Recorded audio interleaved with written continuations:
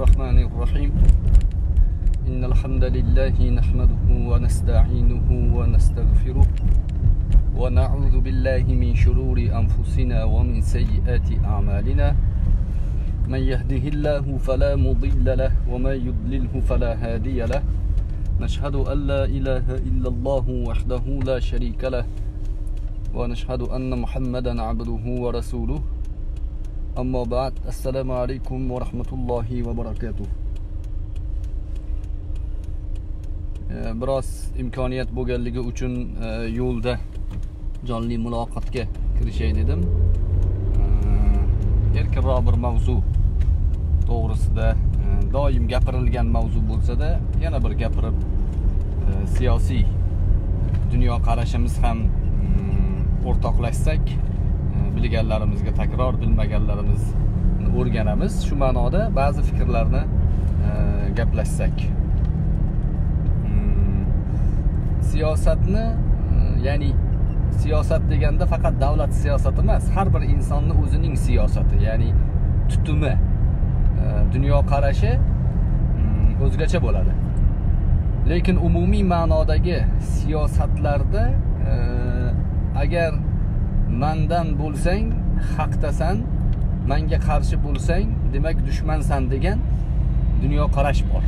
Buni ko'proq e, kapitalistik dunyoqarash asosida tug'ilganligini aytadi siyosatchilarni turli fikrlari bor buni to'g'risida. Ya'ni har qanday dunyoqarashing menga foyda bergandagina do'stsan. Agar menga foyda bermasa san menga dushmansan degan kayfiyat. Bo'ladi. Shunaqa kayfiyatdagi odamlar bor. Ana shu odamlar uchun jamiyatlardagi muammolar o'sha odamlarning dunyoqarashiga e, foyda deb o'ylaydi ular. Masalan bir odam mazlum bo'lsa zulmga uchrasa ularga jon kiradi. Ana mana palonchi zulmga uchradi. Endi har ikki gapni birida shu zulmga uchragan odamlarni misol qilaveramiz. Chunki biz zulmga qarshimiz mazlum tarafmiz degan gapini isboti uchun shunga o'xshagan mazlumlarni ko'payishini xohlaydi. Ichidan xohlaydi. Tashqarida aytmasada lekin ichidan xohlaydi. Ularni bu dunyoqarashi qarashi e, xolis emasligini barcha yaxshi biladi. Ularga e, har qanday sitatalar har qanday fikr har qanday diniy e, ma'nodagi asoslar e, ishlash kerak ularni tushunchasida. Ularni foydasiga ishlash kerak. Agar ularni foydasiga ishlamasa u diniy tushunchalarni ham shaxsiy e, fenomenlarni ham bir tiyinga olmaydi.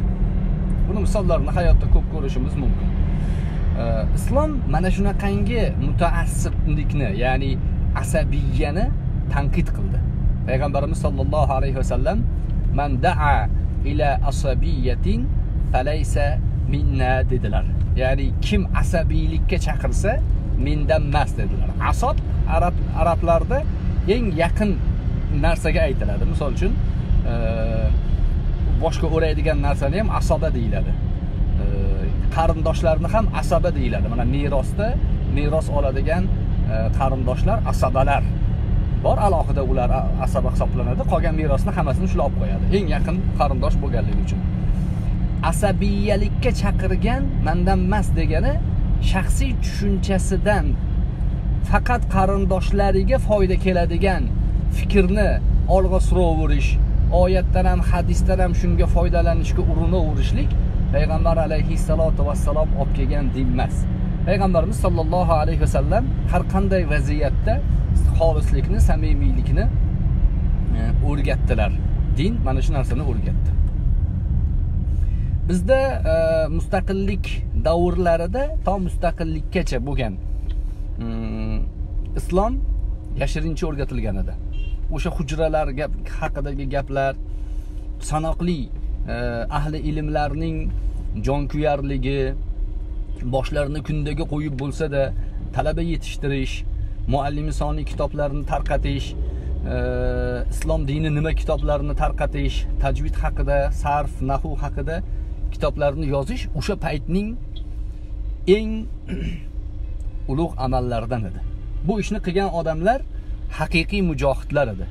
U paytda qurol ko'tarib jang qilish emas aynan o'sha e, og'ir vaziyatlarda islomni yetkazish uchun harakat qilgan zotlar edi. Ularni bugungi avlod e, o'laroq e, avvalgi o'sha ateistik tuzum bostirib kelgan paytida bizga islomni yetkazishlik uchun joniyu moliyu umrini hayotini fido qilib ko'prik bo'lib bergan odamlar deyiladi.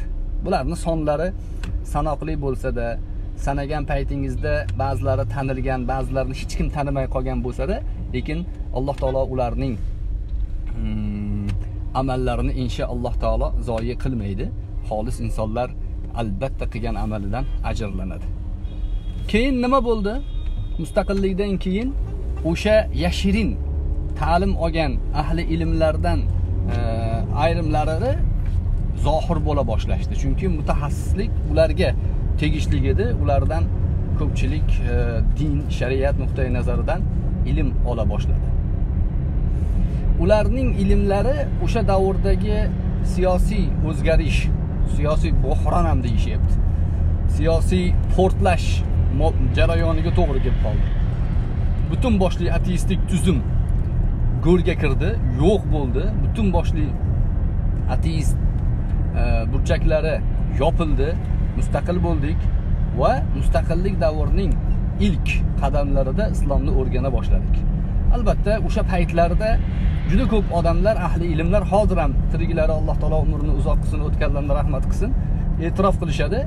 Din shu darajada siquvga olingan ediki ateistik tuzum davrida. Odamlar mustaqil bo'lganimizdan keyin arabiy yozuvda nima manba bo'lsa olib xalqqa yetkazishga harakat qilaverdi. Erkin bo'lib ketdida hamma yoq.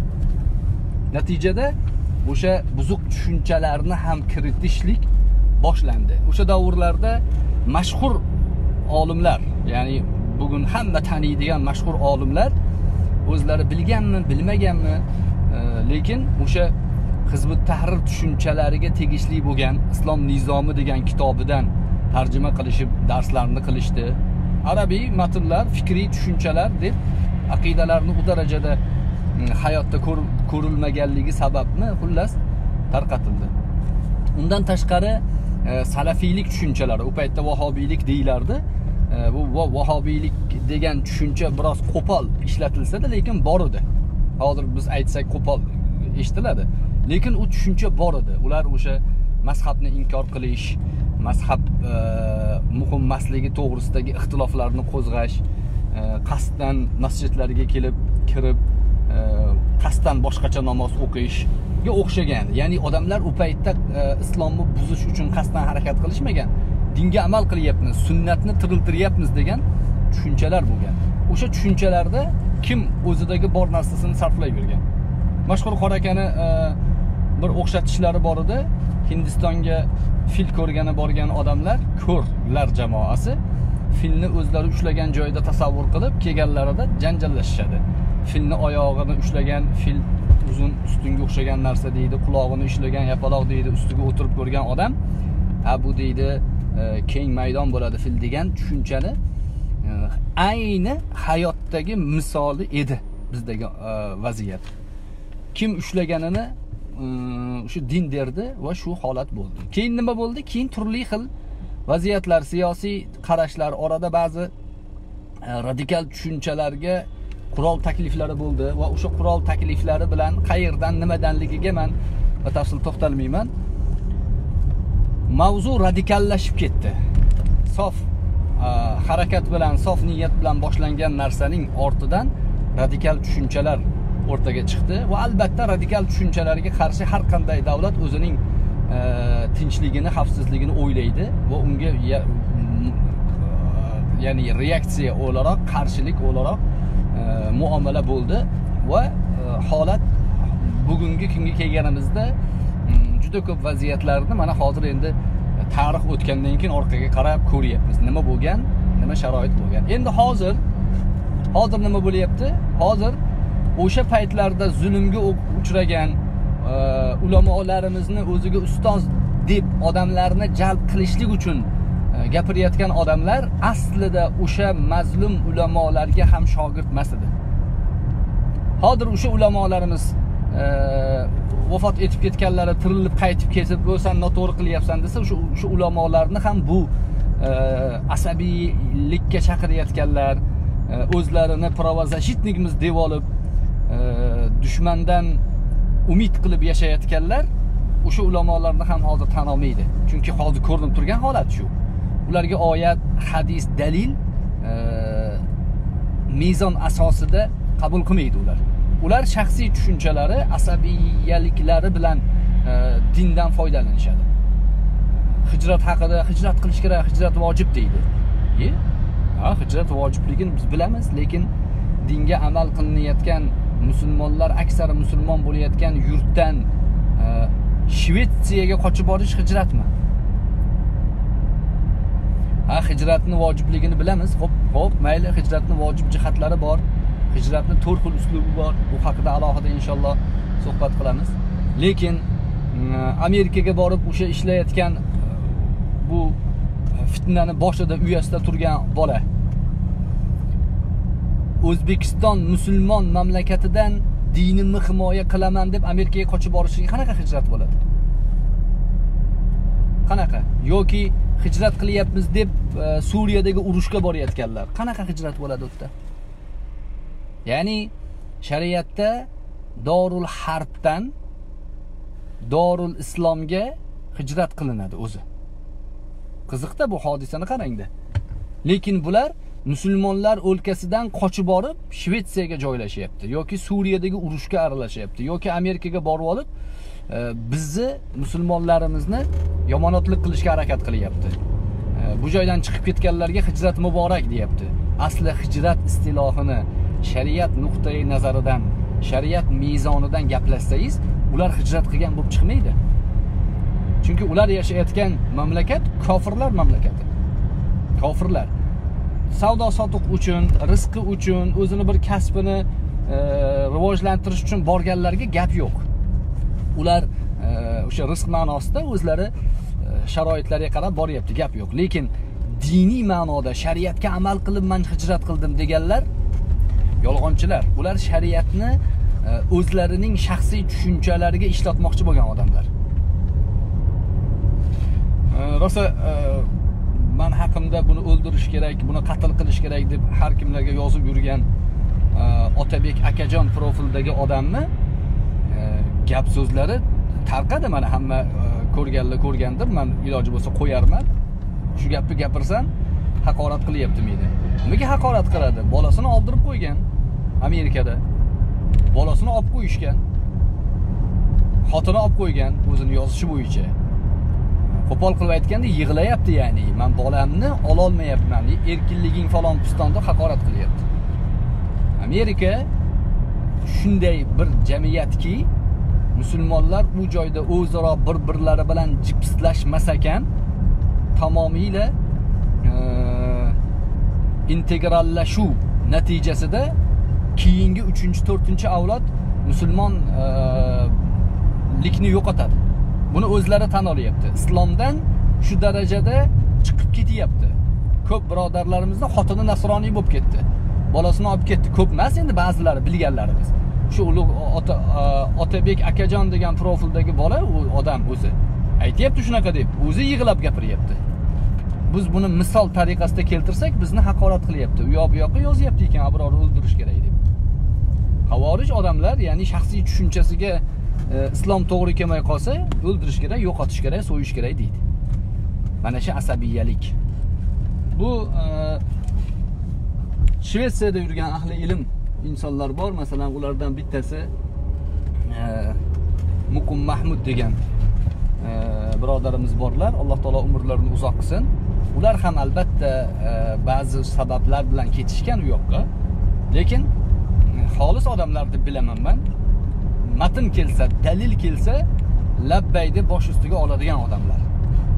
Endi shuni shu kishini o'sha ilmiy bahslarini e, qadriga ma'nosiga yetmagan bu mirrahmat va muqim mahmudni bir tiyinga olmayman debdi. Xuddi o'zi yarim tiyinga arziydigan ish qilgandek. Masalan mirrahmatni kim bir tiyinga oladi? Mirrahmatga yodlab olgan gapi bor. Obidxon aka ustozim abduvali qor aka yo'q qilindi. Shu yodlab olingan gaplar bor. Shular bilan o'zini dindan foydalanadi xolos o'zini shaxsiy tushunchasiga. Shaxsiy tushunchasini olg'a surishlik uchun e, mazlumlik tarafga o'tib oladi o'zicha. Man mazlumman deydi. Qanaqa mazlumsan san? Qanaqa mazlumsan? Din bularga bular din qilayotgan yo'lini oqlab berish kerak xuddiki. Bu e, muqim mahmud akamiz yoki mubashshir domlamiz bular aytayotgan gaplarida shaxsiy tushunchadan e, ko'ra ilmiy asoslarga dalillarga suyanayotgan odamlar. E, hijrat qilishlik mavzusida mana hozir abdulaziz abdulaziz degan birodar yozyaptilar hijrat qilishlik mavzusida musulmon o'lkalarda variant bo'la turib bo'la turib dinini himoya qilaman degan odam vizantiyaga qochmaydi. Tarixda bunaqa gap yo'q. Najoshiyni misol qilganlar u faqat o'zlariga foydalanish uchun najosiyni misol qilishadi. Najoshiy boshqa variant bo'lmaganligi uchun payg'ambar alayhissalom najoshiyga taklif qilganlar. Madinada imkon bo'lganda hamma madinaga ko'chgan. Boshqa holatlar ham bor.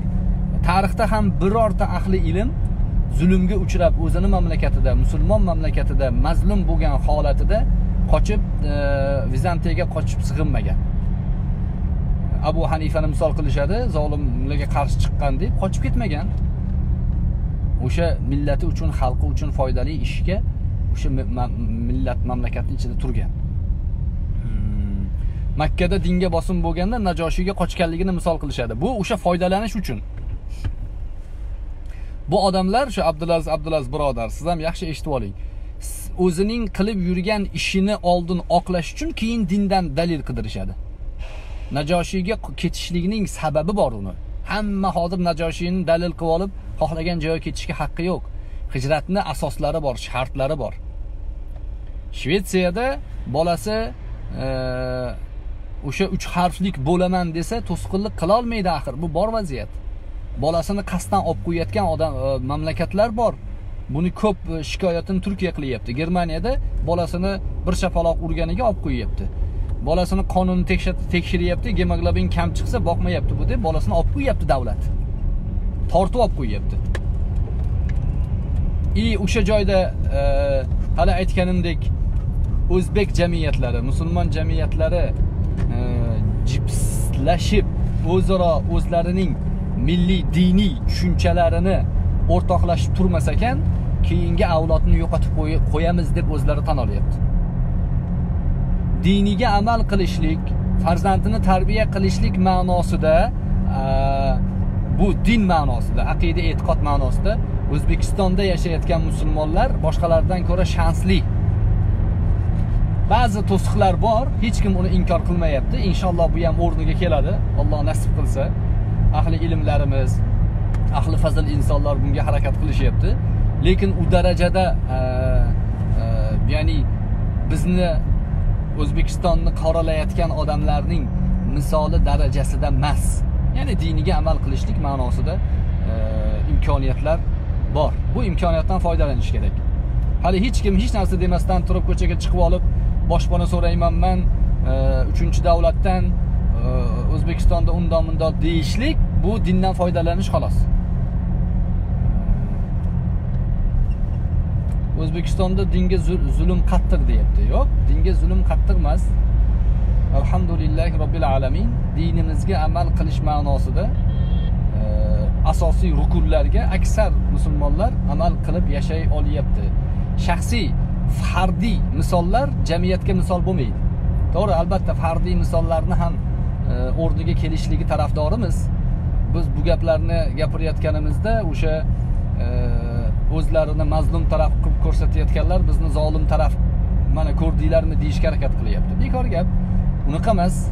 Biz mazlumni mazlumga zulm qilishligini oldini olishga harakat qilyapmiz. Undan tashqari man bir e, bu mahmud abdumo'min degan e, hizbiylarni hozirgi kundagi qo'shtirnoq ichidagi sheyxi bor. Shuni gapini eshitib qoldim. Ya'ni u aytyaptiki bu islom mohiyat va talqin ko'rsatuvi haqida bilasizlar o'zbekistonda faqat tepadan zakaz bo'ladi ular keyin bunga moslab qilib beradi deyapti. Gapirish toni ham xuddi mavzuni tepasida o'tirgandek gapiryapti. Mahmud e, abdulmo'min e, bekorlarni besh mingtasini aytibsan. Hech kim bizga kelib zakaz qilgani yo'q falon mavzuda gapirib bering deb. Biz bu mavzuni shaxsiy tashabbus bilan qildik. Albatta e, yuz foiz haq e, hamma yoqda qoyil qildik qotirib qo'ydik demaymiz. Bu tashabbusimiz o'tdi alhamdulillah. Ko'pchilikka manfaat bo'ldi degan e, tashakkurlarni eshityapmiz. Ahli ilmlarning fikr mulohazalarini ham kutib qolamiz. Lekin unaqa emas. Yana o'zbekistonda bunaqa narsalarda senzura bor. Undoq qiladi mundoq qiladi. Mavzuni yarim soat ko'rdim deydi. Ko'rmagan bilmagan narsasida e, xohlagan gapini gapirishlik ya'ni muammodan din yasash tushunchasi bor. O'sha asabiyalikni shaxsiy mezonning mm, unsurlaridan ya'ni belgilaridan biri shu. Muammoni gapiradi. Muammo bular uchun eng katta manfaat. Muammo bo'lsa bularning e, ko'chasida quyosh chiqadi. Ana ko'rdinglarmi falonchini qamab qo'yibdi. Ana endi biz gapiramiz deydi. Unaqa emaski. Yana shu shu shu darajadaki bular siz bilan bizni xato qilishligimizni kutishadi. Xato qilsa edi hozir mana shu xatosidan e, o'zlar o'zimizni tushunchamizni jonlantiramiz deyishadi. Ko'rsatuv borasida e, bu abdurahim shoshiy degan e, bola har turli joydan kesib kesib qo'ydi. Kutgan edik shu shu kessa kerak deb chunki saviya ham yo'q tushuncha ham yo'q. Nimani kesib qo'yayotganligini ham u darajada bilmaydi. Chunki yarmi buyog'i nazarbekka borishim kerak. Nazarbekmi? Orqamdan yuravering yo'llab qo'yaman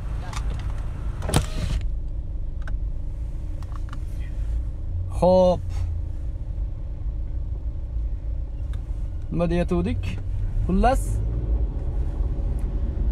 e, shaxsiy insonlar shaxsiy tushunchalari bilan dindan foydalanishyapti xolos. Hizbut tahrir jamoasining ahvoli ham shu.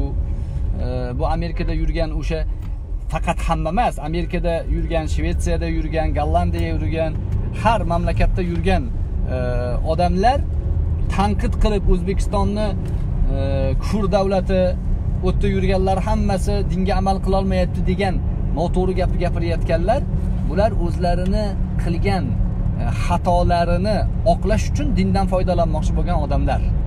Aldanmaslik kerak bunga ozgina muammo bo'lib qolsa darrov obid qor aka ustozim deb post qo'yadi. Bir rahmat. Ozgina e, obro'si tushib ketib qolsa hech kim uni ichidagi o'sha fasodini odamlar ko'rishni boshlasa boshlasa obid aka ustozim abduvalo qor akam ustozim deyishni boshlaydi. Asli qor akalar bo'lsa hozir bu buni qilib yurgan ishini e, yoqlashmaydi. Chunki ahli ilm odam bularni ishini yoqlamaydi. Bularni ishi ahli ilm odamning ishi emas. Ha biz shoshiy haqida gaplashayotgandik. Abdurahim shoshiy o'sha e, nafsga qarshi jihod deb qo'yibdi xolos deyapti yolg'on gap. Biz jihodning nafsga qarshi jihod ekanligi ham borligini aytdik va qurolli jihodni ham aytdik. Talab jihodi bilan difo mudofaa jihodi haqida gapirdik. Va qurolli jihod e, shartlarini gapirdik. Taklif yoshi e'dod masalalarini gapirdik. Bu bir, bir soatlik ko'rsatuvdan bittagina qismni olib mana shu deyishligi noto'g'ri. Yana bittasi aytyapti bu e, o'sha abdulmo'min degani. E, Mahmud abdulmo'min degani. O'zbekistonda hamma mujohid ekan bularni tarifi bo'yicha deyapti. Nega mujohid bo'lmasligi kerak? Va o'sha joyda man ta'kidlaganim iymon bilan Allohning roziligini albatta birinchi planga qo'yish kerak degan gapimizni berkitishyapti. Unaqa emaski? Bu Allohning roziligi uchun harakat qilgan odamlarni qur'oni karim oyatlarida ham hadisi shariflarda ham fi sabilillah deganlar payg'ambar alayhissalotu vassalom Alloh yo'lida yurgan odam deganlar. Shahidlik mavzularida faqat jangda o'lgan odam shahid hisoblanmaydi boshqa shahidlik turlari ham bor. Ya'ni shahidi a'lo um, alohida mavzu lekin shahidlik faqat jangga tegishli emasligi haqida hadislar bor. Biz maqsad shariatni asl e, keng ma'nosini ko'rsatish uchun bu gaplarni gapiryapmiz. Xullas e, shularni bilib qo'ysak degan e, tashvishimiz bor. Musulmonlarimiz albatta dinimiz orqali unga amal qilish orqali dunyodan iymon bilan o'tib olish rejamiz maqsadimiz bor. Alloh taolo bu maqsadimizga yetishtirsin. E, va bu musulmonlarning birlashganida kechasi bilan yotib yig'lab nimaga bular birlashib ketadi degan odamlarni e, ro'yxatga olib qo'yinglar. Ya'ni bularni din haqidagi gaplari faqat shaxsiy manfaatlari uchungina ishlatiladi. Buni bilib qo'yinglar. Palonchi qorakam ustozim degan gapi ham o'zining shaxsiy manfaati uchungina ishlatiladi. U qorakalar bularga ustoz emas. Bular dindan e, o'sha dinfurush degan gapni ko'p gapirayotgan odamlarning aksari aslida dindan o'zlari foydalanmoqchi bo'lgan odamlar. Bularga e, imkon bermaslik kerak ya'ni bularning gapiga aldanmaslik kerak. Alloh subhanahu va taolo o'zini dinini e, himoya qilib oladi. Biz shu dinga amal qilib e, yashashlikni g'amida tashvishida bo'lishimiz kerak. O'rtada mezon bo'lishi kerak. Qur'on hadis salaf ummatning fahmi bo'lishi kerak mezonimiz.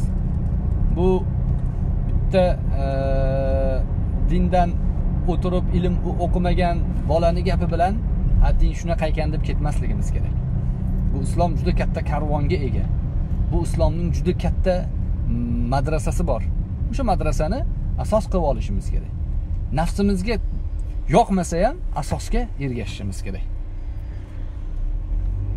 Shularni aytaylik dedik. E, Alloh nasib qilsa hali e, bu mavzularda yana suhbatni davom ettiramiz. Ahli ilmlarimizga din ma'nosida din mavzusida ergashishimiz kerak. Ahli ilmlarimiz biz uchun o'rnak ya'ni mezon asosida ularning asoslariga ergashishimiz kerak. Shaxsiy falsafasiga ergashmaymiz. Bu abdurohim shoshiy bir post qo'yibdi. Nima debdi? Hmm. Namozga kelgan odamlar telefoninglarga muzik musiqa qo'yib olasizlar. Harom musiqa. Uni o'rniga tiring tiring qilgan narsa qo'yib qo'ysanglar yaxshiku. Debdi. Desa boshqasi yana yozibdi keyin postida. Iya u tiring tiring ham musiqayu desa ahafu zararayn degan qoida bor bilmaysanmi debdi. Havorijiylikning tushunchalaridan bittasi. Ko'ryapsizlarmi? Musiqani harom deyaptida tiring tiring ahofiz zarorayn ikkita zarardan yengili olinadi degan qoidaga buni tushunmoqchi. Lekin biz ahofiz dararayn ma'nosida inson butun boshli millatni millatni himoyasi uchun bu qoidani aytsak bu qoida tushmaydi deydi. Musiqaga tusharkanda tiring tiring musiqasi ahofiz zararaynga tusharkanda havorijiylikni qarang. Havorijiyning tushunchasini qarang zamonaviysini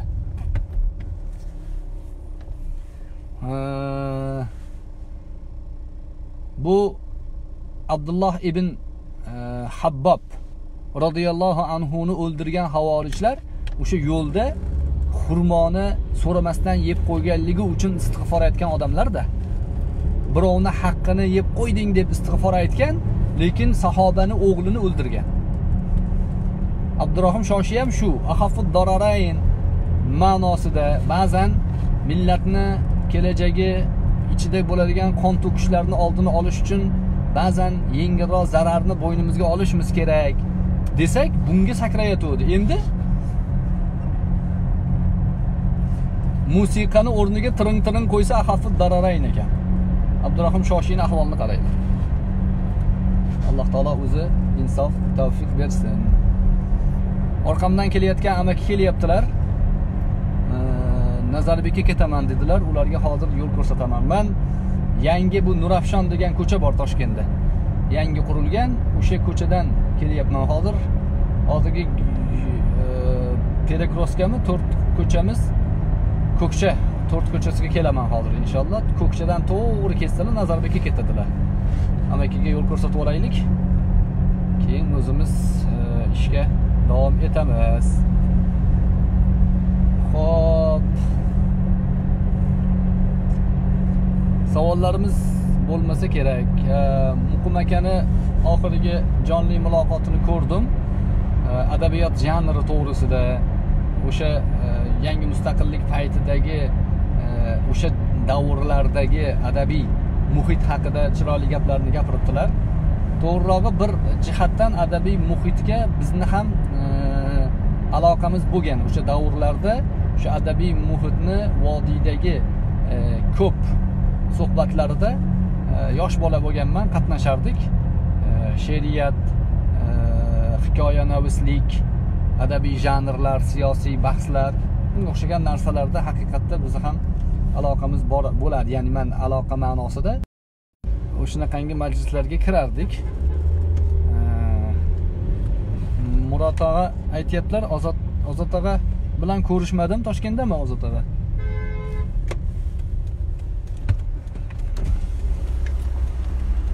To- mana shu yo'ldan to'g'ri ketasiz to'g'ri postlar bor postdan o'tgandan keyin nazarbek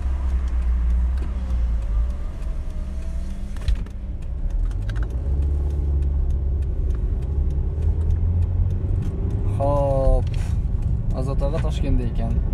Xorazmda yurgan paytimda xorazmlik e, aka ukalar bilan ko'p salom alik bo'lgan. E, o'shalarni ko'p xizmatlari bo'lgan Xorazmda yurgan paytimizda shu birodarlarimizdan birlari kelibdilar. Kelsa ular hijolat qiladi, telefon qilmaydi, vaqtini olamiz deb. O'shanga yaxshi bo'ldi Murod og'a aytganingiz. Hozir inshaalloh bir ko'rishib ham qo'yamiz. Xullas, e, shu mavzularda ma'nolarni gapirmoqchi edik. Islom samimiylik, birdamlik, uquvvat dini. O'sha samimiylik, birdamlik, uquvvatni e, davom ettirishimiz kerak. Ba'zi e, shallaqlar og'zidan bodi kirib shodi chiqadigan e, odamlarga e'tibor bermasligimiz kerak. Ular dinni o'lchab beradigan odamlar emas bizga. Islomning asosini ular belgilamaydi. Ular islom asoslaridan shaxsiy tushunchalari uchun foydalanadigan odamlar. Alloh subhanahu va taolo o'zi hidoyat qilsin, hidoyatda bardavom qilsin. Savollarga to'xtalmasak kerak, chunki hujja kirishimiz kerak. Assalomu alaykum. Nar Iymon Abul Hasanni intervyusiga munosabatingizni kutamiz. Noto'g'ri narsa shu nar iymon deyishlik e, Muhammad Umar chiroyli ismingiz bor ekan. Nar iymon emas, Nur Nur iymon u kishini oti. Musulmon birodar deb bilaman u kishini. Shaxsiy tushunchalarida xatolarni sherigi emasman, qo'shilmayman. Lekin uni bunaqangi haqorat qilib yanayam yana ham xatoni ustiga xatoni ko'paytirish to'g'ri emas. Bir kishi xato qilgan bo'lsa, siz ham u xatoni dan kammasini qilyapsiz. To'g'ri emas. Uni intervyusiga munosabatni bildirdim. Bu intervyudagi holat e, islom asoslariga ko'ra e, sharhlanadigan holat emas.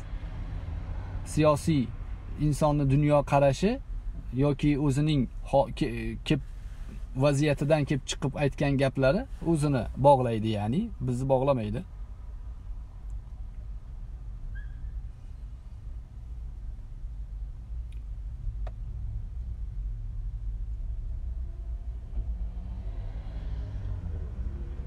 ma'ruf abdullayev kommunistik partiya davrida ham namozni kanda qilmaganlar bo'lgan mustaqillik davrida ham namoz va ilm uchun sharoit bo'lgan. Hozirgi davrda bir shaharda shariat savollariga javob berishga ulamo odamlar topilsa hijrat qilinadi debdilar.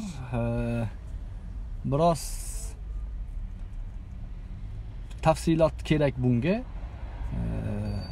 O'sha kommunistik davrda namoz o'qishlik iymonga tegishli mavzular taqiqlangan edi. Mutlaq taqiqlangan edi. Berkitib o'qilardi qilinardi ilm ham shunaqa tarqatilardi. E, undan keyin o'sha ateistik ruh man qilindi. To'xtatildi. Ateistik burchaklar hammasi olib tashlandi. Ateizm g'oyalari to'xtatildi.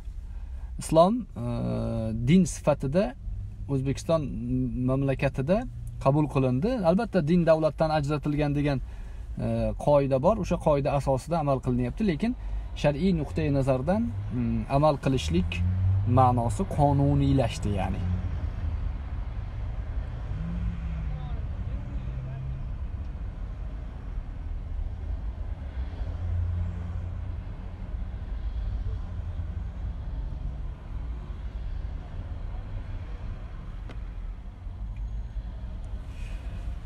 Mirzohid yo'ldoshev.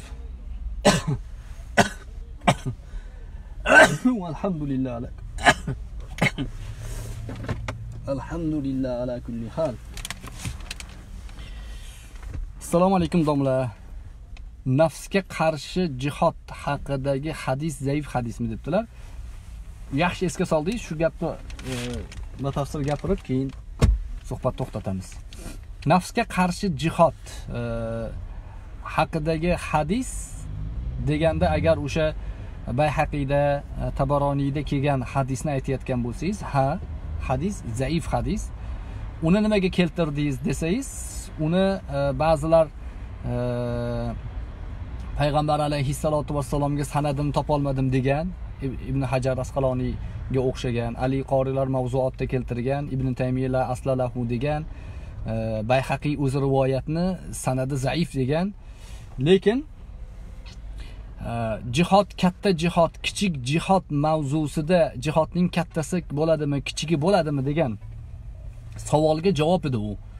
Ya'ni katta yoki kichik bo'lishligida lug'atdan foydalanish bor. Islom matnlarida johiliyat she'rlaridan ham foydalanadi. Johiliyatni she'rlaridan nima uchun?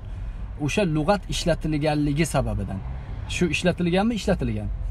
Э, hadis zaif sifatda keltirilgan hadisni biz ilmiy istilohiga ham to'xtalgan edik. Faqat vaqt ko'payib ketganligi uchun oddiy omma xalqqa ilmiy istilohlar shart emas deb uni olib tashladik. Э, Mabodo hadisning ma'nosi э, sahih bo'lsa qur'oni karimda alloh subhanahu va taolo fala tuti'il kafirina va jahidhum bihi jihadan kabira oyatini tasdiqi bo'ladi. Ya'ni qur'on bilan jihod qilishlik jihodi kabir katta jihodga kiradi degan ma'noni ifoda qiladi dedik. Va buni mabodo ma'nosi to'g'ri bo'ladigan bo'lsa o'sha qurolli jang har doim bo'lmaydi lekin insonni o'zi bilan o'zi bo'ladigan jangi doimiy bo'ladi. Shuning uchun katta deb aytilgan dedik va qur'ondagi oyat uni tasdiqlaydi. Zaif hadis bo'lsa bo'ldi unga amal qilinmaydi. Mana mana shu zaif hadisni keltirdi deb abdurahim shoshiy jazavaga tushishligi noo'rin uni e, faqat o'sha bilan to'xtalib qolganligimiz yo'q. Qur'oni karimda ham turibdi jihadan kabiro oyati. Va munofiqlar bilan ham jihod qiling degan oyat turibdi. Va vaholanki payg'ambar alayhissalom munofiqlar bilan qurolli jang qilmaganlar. Qurolli jang munofiqlar bilan bo'lmagan. Hech qachon. Payg'ambar alayhissalom madinada munofiqlarni hammasini bitta bittadan e, nomma nom huzayfatil yamaniyga aytib berganlar lekin ularni o'ldirmaganlar. Ularga qarshi qurolli e, jang qilmaganlar ular bilan jihod qanaqa bo'ladi desa ilmiy bahslarda bo'ladi. Islomga qarshi e, muzokara qiladigan odamlarga ilmiy bahs jihod deb nomlanadi va mana shu jihodni jihodan kabiro degan. Bayhaqiyning rivoyatidagi e, yoki imom taboroniyni rivoyatidagi katta jihoddan kichik jihoddan katta jihodga qaytdik kalimasidagi jihodan kabiro yoki minal jihadil asg'ari ilal jihadil akbar kalimalari bizga mavzuyimizga tegishli edi kerakli edi o'sha mavzuga aloqador bo'lganligi uchun uni keltirgan edik. Boshqa gaplarni ham keltirgandik. Ko'rsatuv asli ikki soat edi bir soatini o'sha ilmiy istilohlar muhim mavzuga ta'siri qaytarilgan bo'lsa olib tashlab bir soatga ellik yetti minutga tushirdik. Inshaalloh kelajakda hali bu mavzularga yana qaytamiz. Jihod mavzulariga inshaalloh qaytamiz. Faqat nafs bilan jihodga aylantirib qo'yibdi deganlar tuhmat qilyapti. Unaqa emas. Biz har bitta mavzuda Allohning roziligi bilan e, harakat qiluvchilarni jihod qiluvchilar e, sirasidan sanalishligini dalillar bilan keltirdik. Alloh subhanahu taolo barchalarimizga e, hidoyat nasib qilsin hidoyatda bardavom qilsin. E, musulmon jamiyatlarini birdam qilsin. barchalarimizni o'zining hidoyatidan ayirmasin سبحانك اللهم وبحمدك نشهد أن لا إله إلا أنت ونستغفرك ونتوب إليك وآخر دعوانا أن الحمد لله رب العالمين السلام عليكم ورحمة الله وبركاته